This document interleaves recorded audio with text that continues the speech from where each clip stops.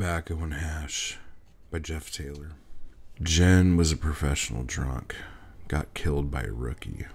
What the fuck kind of career is that anyway? When Jen and I were in Florida, we paid too much for a joint of tobacco and hash. The spliff got too wet to smoke as we rain danced on the pier, cyclones twisting around us. She overcame addiction only to have her life ended by someone who wasn't there yet. I like to think the woman who caused the accident was Jen's soulmate. They lived thousands of lives together through thousands of universes, weaving the possibilities of two beings colliding.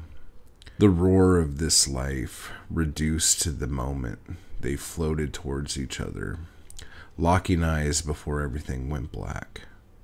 Jen once told me she wanted all her friends to smoke her ashes so we wouldn't make the same mistake she did.